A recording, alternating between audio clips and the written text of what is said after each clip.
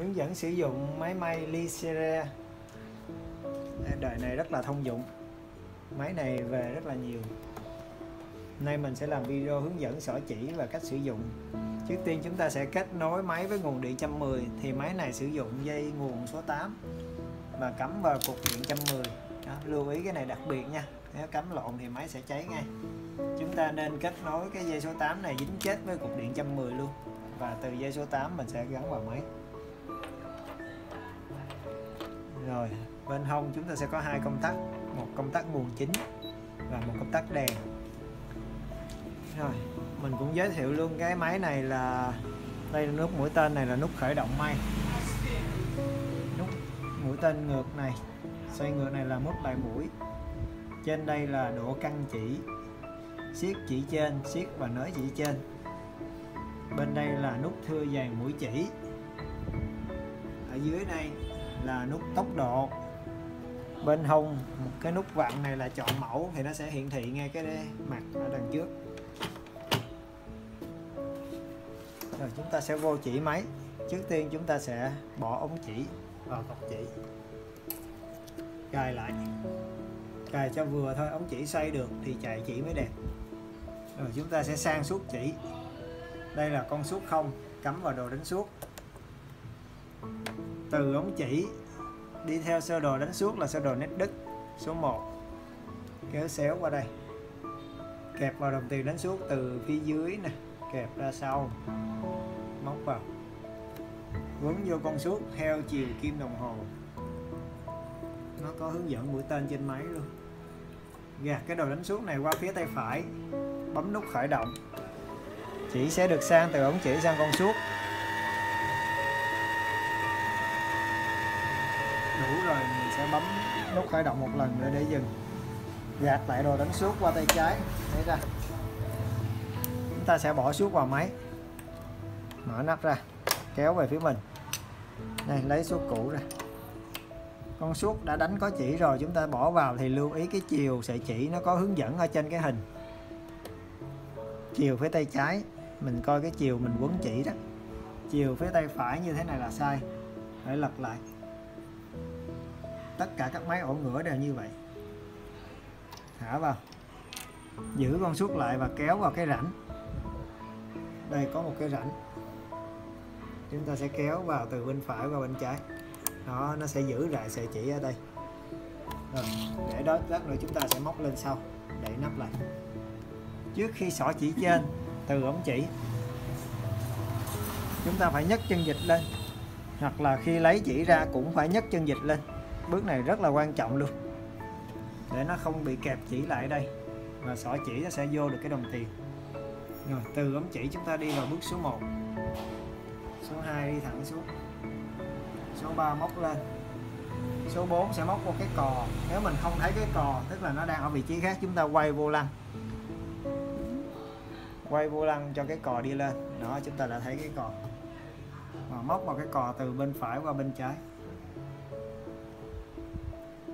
Xuống số 5 số 6 tới đây mình hạ chân dịch xuống được rồi. Xỏ vô kim từ trước ra sau. Thì nó có đồ xỏ chỉ tự động. Để xài được cái đồ xỏ chỉ tự động này thì chúng ta phải để ý cái vị trí kim nó phải nằm ở vị trí cao nhất. Nếu nó lỡ cỡ thì chúng ta không xài được. Đây là cách sử dụng đồ xỏ chỉ tự động. Tay phải cầm sợi chỉ. Đưa qua. Tay trái cầm đồ xỏ chỉ. Từng tay thôi, tay phải mình đưa qua tay trái kéo đồ xỏ chỉ hết cỡ thẳng góc xuống thẳng góc và hết cỡ xuống luôn. Giữ nguyên tay trái đưa tay phải đụng vào cái cạnh của đồ xỏ chỉ.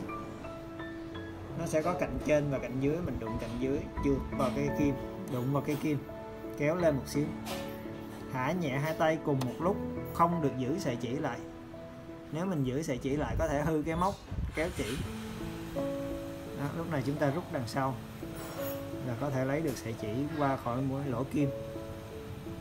Rồi, chúng ta sẽ lấy cái chỉ dưới này lên bằng cách tay trái cầm sợi chỉ trên. Chặt, không chặt lắm, cũng không lỏng lắm, vừa thôi, vừa thẳng sợi chỉ ra. Bình thường đối với máy khác thì chúng ta sẽ quay một vòng vô lăng. Đối với máy này mình chỉ việc ấn nút lại mũi một lần là lấy lên được. Rồi, nhấc chân vịt lên, nhét cả hai sợi ra phía sau rồi, chúng ta bỏ vải vào may. Nút khởi động là may lại mũi nè. Rồi, chúng ta chọn mẫu khác. Chỉ việc vặn thôi. Máy này nó đã tự dừng kim đúng vị trí cao rồi rồi.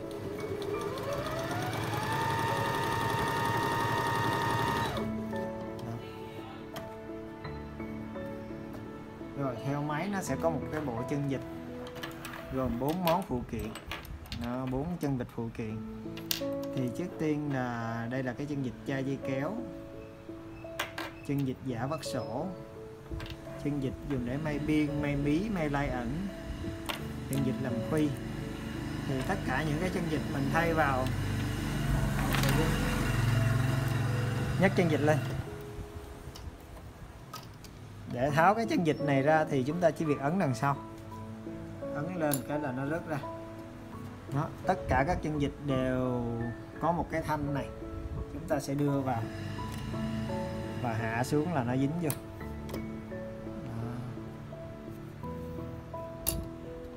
Rồi đặc biệt chúng ta phải lưu ý là cái chân vịt giả vắt sổ đây là cái chân gây gãy kim nhiều nhất. Đó hầu như mọi người xài gãy kim là do sử dụng cái chân này thì chân này nó có chữ G. Mình để ý trên máy, số 8 nó có chữ G là đúng tiêu chuẩn của nó. Nhưng mà mình có thể ăn gian tại vì số 8 này mình sẽ không chỉnh được cái độ thưa dày mũi chỉ. Số 8 này nó sẽ cố định, mình sẽ có thể ăn gian sử dụng mẫu số 5 thành ra mình chỉ sử dụng 5 và 8 thôi, không xài mẫu khác. Rồi, chân dịch may lai ẩn. Thì mình có thể dùng để may biên, may mí, bao nhiêu ly là mình vặn con ốc đây sẽ to nhỏ biên to biên nhỏ mình vặn con ốc này.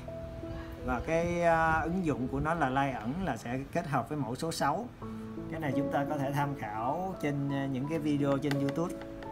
Chân vịt lai ẩn để phối hợp cách gấp vải. Rồi đây là chân vịt làm khuy dùng để làm khuy. Thì uh, trước khi uh, làm khuy thì mình sẽ giới thiệu cái chân vịt chai dây kéo chứ. Đây chân vịt chai dây kéo của máy này nó sẽ là chân vịt di động mình có thể chuyển từ bên trái qua bên phải. Rồi, đặc biệt cái chân vịt này chúng ta phải tháo cái cùi chân vịt ở trên máy ra không thay được cái đế giống như mọi chân vịt khác. Rồi chúng ta gắn vào như thế này. Siết ốc lại. Và chúng ta chọn đường may thẳng nha. Đối với chân này thì chúng ta có thể chọn cả số 1 lẫn số 2 số nào cũng được còn đối với chân vịt mà không mở ốc mà đế chân vịt dây kéo mà đế như thế này á, để mình sẽ lấy giới thiệu cho các bạn luôn.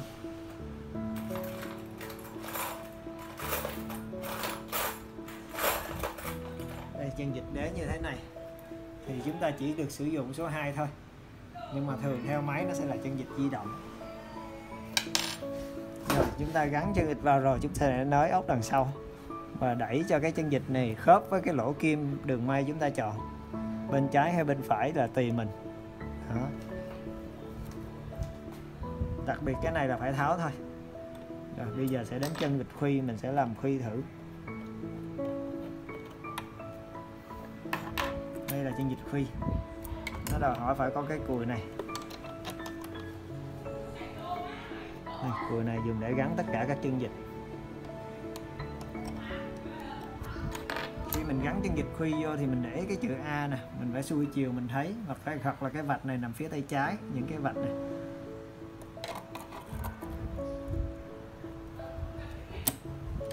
Rồi, đối với khi của roder thì mình sẽ đẩy hết chân vịt ra phía sau. Rồi, dặn qua cái mẫu khuy là mẫu A.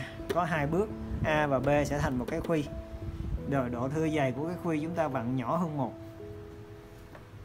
Chúng ta sẽ làm bước A bước A sẽ làm bằng cái độ dài mình cần. Mình đã đẩy hết ra phía sau nè. Thì mình để trên cái chân vịt nó có một cái nhựa trắng và một cái vạch ngoài nó trùng nhau. Cái nhựa trắng này nó sẽ đi.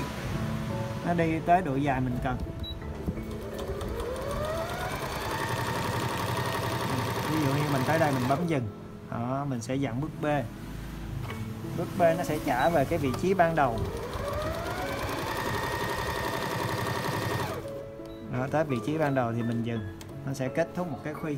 Đó, cái khuy là cái bước cuối cùng của cái máy này.